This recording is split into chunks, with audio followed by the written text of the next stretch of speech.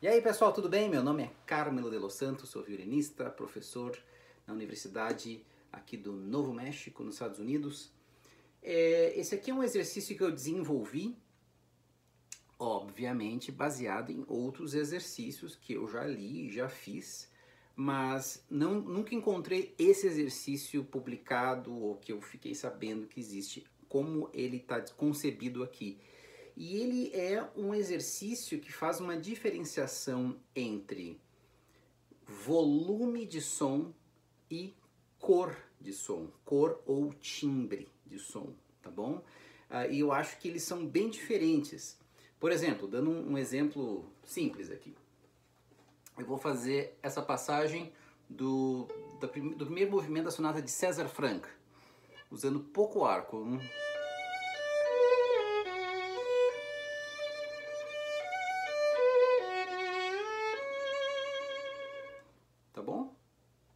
Dinâmica, digamos assim, uh, que a gente chama, né, piano, tá? Tem um volume de som também baixo. Agora eu vou usar uma outra cor de som, mas com o mesmo volume.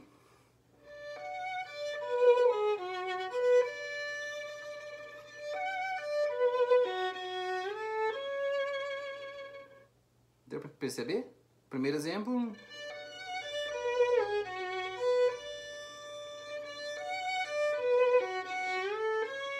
Segundo exemplo.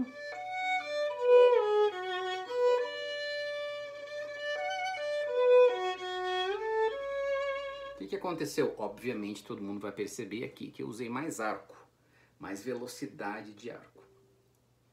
Tá? Mas o fator determinante para mim dos três, da tríade suprema do, do, da técnica de arco, que é velocidade, pressão ou peso, às vezes eu chamo de peso também, porque a peso é pressão, tá? Mas digamos assim, força e a ponto de contato.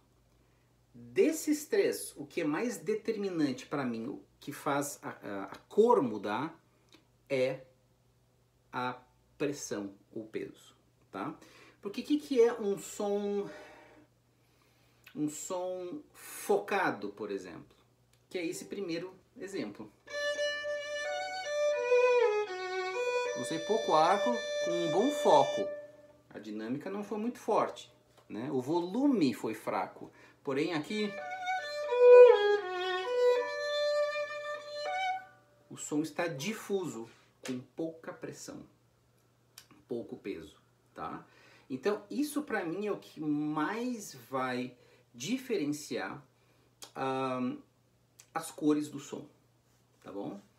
Quando a gente toca um solo, por exemplo, ou um concerto, principalmente um concerto romântico, uh, ou uma peça para violino e orquestra, ou uma peça em que o violino é muito importante, uh, a gente vai trabalhar mais com cores do que com volume. Porque senão, se a gente vai tocar com uma orquestra, imagina tocar um concerto de Tchaikovsky e tocar muito pianinho porque o, o, o, o compositor colocou piano, tá? Uh, não é bem assim que funciona a gente vai pensar nessas dinâmicas escritas, piano, pianíssimo, mezzo piano, mezzo forte, forte, fortíssimo, como cores, tá? Quanto mais pro forte, fortíssimo, mais focado o som vai ser. Quanto mais pro mezzo piano, piano, pianíssimo, menos focado, ou seja, mais ar ele vai ter, tá bom? Tô dando uma explicação bem completa aqui para vocês não para vocês entenderem bem o que é o exercício, tá bom? Uh, antes de fazer o, o, exercício propriamente dito, a gente tem que ter o arco absolutamente reto, tá? Tem que exercitar isso aqui no ponto de contato 3, né? Dividimos isso aqui em 5, 1, 2, 3, bem no meio, 4, 5, perto do espelho, tá? Então, 1 um é perto do cavalete, 3 seria bem no meio, entre o espelho e o cavalete, e 5 é aqui, tá? Bem no, no ponto de contato 3, tá bom? Peguem a corda lá, e tentem tocar um marco reto e o mais rápido possível. Mas professor, por que o mais rápido possível? Porque só assim, quando a gente sabe que o trilho está absolutamente reto, que a gente sabe que o trem bala vai conseguir andar ali. Senão, se tiver um pouquinho de desvio, já todo mundo morre do trem, tá bom?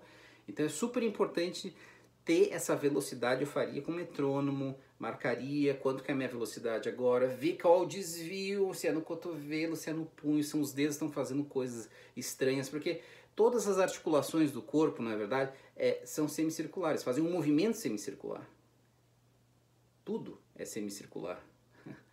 né? Aqui, aqui, aqui, tudo é semicircular. Então, para fazer uma linha reta é difícil. A gente tem que coordenar, né? sincronizar todos esses movimentos para que eles saiam reto. Tá? Então tem que fazer isso aí antes de fazer esse exercício. Agora chegamos, depois de quase seis minutos de vídeo, vamos fazer o exercício que eu inventei. Um, Vamos começar só na corda lá primeiro, tá? Depois eu, eu, eu mostro uma maneira de, fazer nas outras cordas. Nós vamos criar o menor foco possível, o menor peso ou pressão possível dentro de uma velocidade, tá? Então eu vou colocar a velocidade aqui 110. Por que 110? Depois eu explico com mais calma por que 110, mas tem uma razão de ser 110. Tá? Vocês vão tentar fazer isso aqui, ó quatro batidas por arco. Peguei um ré natural. Três, quatro. O arco está reto, tá? Não pensem em ponto de contato. Para mim, o ponto de contato é o menos importante. O ponto de contato é, uma, é um produto do que eu estou pensando em fazer, que é o mínimo de pressão possível. Se o, se o, o ar começar a falhar, assim, fazer é porque não tem pressão suficiente nessa velocidade tá? Tragam o mais próximo possível do cavalete, com o mínimo de pressão possível nessa velocidade. Vocês vão ver que vocês podem chegar bem próximo, um ponto de contato 3. Isso aqui desmistifica essa ideia, desmistifica essa ideia de que piano é perto do espelho. Para solo e para tocar peças assim grandes, uh -uh. Tá? Orquestra, música de câmara, sim. Beleza, tá? Mas para isso aqui não. Ó, eu tô tocando piano. Mínimo de pontos de, de é, pressão ou peso possível. Tem que controlar, tá? Agora vou fazer três. Um, dois, três. Opa! É, o meu ponto de contato já não é tão próximo do cavalete. Dois. Um, dois. Um, dois, um. É, se fica muito aqui, ó, com o mínimo de pressão possível, o, o arco fica fora. Então eu não posso ficar naquele ponto de contato. Eu naturalmente vou um pouco mais próximo para o espelho. Agora um.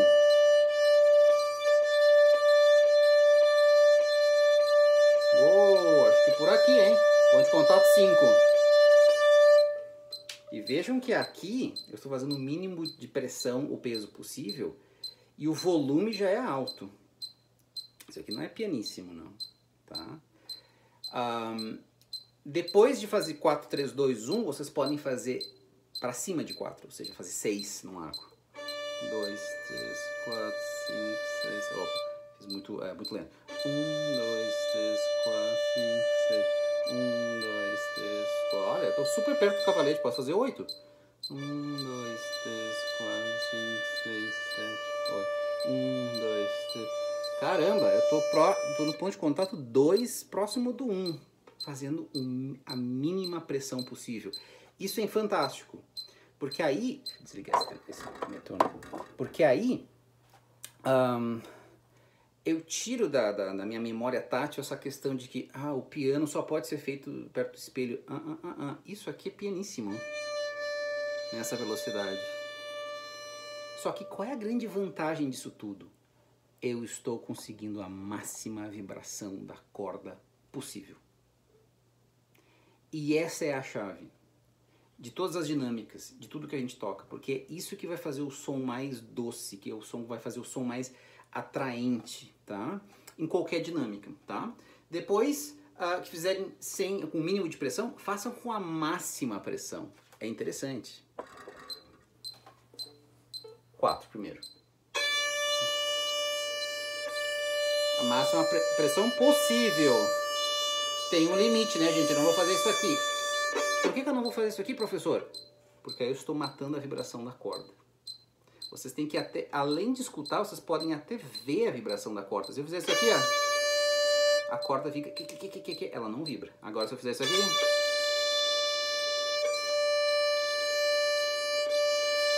opa, tá com uma boa vibração. Então esse aqui é o máximo de, o máximo de pressão possível. Depois três, um, dois, três, um, dois, três, um, dois, três, um. Depois dois, um, dois, um, Opa, agora eu tive mais volume, né? Estou com a, a máxima pressão possível. Depois um... Opa, não posso estar próximo do cavalete. O ponto de contato foi para fora do cavalete. Porque se eu fizer isso aqui, ó... Não tem pressão que consiga deixar o arco ali, tá?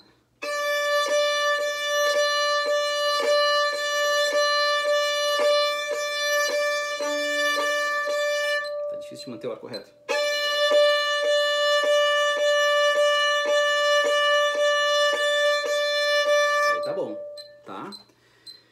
Esse é o exercício. Ele parece simples, mas ele é difícil de fazer. Mínima pressão, máxima pressão. Depois de umas semaninhas vocês podem tentar uma pressão média. Isso vai começar a criar uma paleta de cores, tá? Sem necessariamente uh, mexer muito com dinâmica, tá bom? Esse é o exercício. Eu vou também deixar aqui uma tabelinha que fica mais fácil para visualizar e anotar também, fazer algumas anotações, já ah, esse ponto de contato foi para lá, se vocês quiserem depois lembrar, né? Mas eu faria simplesmente uma semana ou duas, mínima pressão possível, depois máxima pressão possível, depois no meio ele tem a coluna do meio e daria para fazer até mais duas colunas no meio, daria para fazer cinco subdivisões de pressão ou peso, tá bom? Esse é o estudo. Mais uma coisinha que eu gostaria de dizer tudo isso é para vocês explorarem a paleta de cores de vocês. Vai depender do violino de vocês, do ajuste do violino de vocês, das cordas de vocês, uh, do arco, da crina também. Às vezes não dá para andar tão rápido porque a crina tá careca e o, o pneu começa a, res, a resbalar, resbalar no sul, resbalar, começa a deslizar e aí daqui a pouco não dá mais. Aí coloca um uma tonelada de breu, nem assim dá. E aí começa a apertar demais, a corda já não vibra, tem que trocar a crina. Então tudo isso é relativo. E a explicação do 110? Eu fiz uma competição com os meus alunos para ver quem consegue fazer uma, a máxima velocidade, qual era a máxima velocidade na corda Lá com arco reto, e 130 foi a marca que todo mundo conseguiu, não todo mundo, que alguns conseguiram chegar, inclusive eu, 130 estava bom, foi uma boa média. Por que 110 então? Porque vocês vão fazer o exercício na corda sol e ré também. E na corda sol não dá para ir tão rápido, tem que ser menos. Então, é, quando vocês fizerem esse exercício, eu faria um arpejo de Lá maior com o quarto dedo.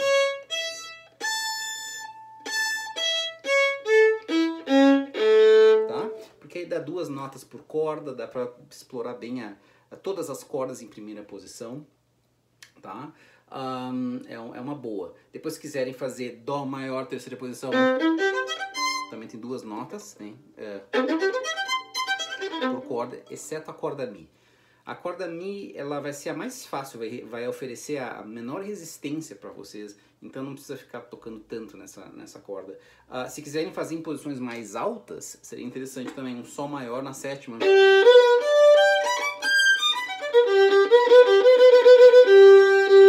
ver que há, há, limites de pressão ali também. Então a gente vai anotando isso na, na tabelinha e vai conhecendo a nossa sonoridade, tá bom? É um exercício bem intuitivo, eu acho, uh, porém ele vai nos dando dados objetivos, tá? Ele é subjetivo no sentido que ele é relativo, rela depende da técnica de vocês, depende do arco, como eu falei, da crina, das cordas, do, do ajuste do cavalete, se o violino está vibrando, se não está vibrando, enfim, uma série de coisas mas cria a nossa paleta de cores. Falou? Um abração!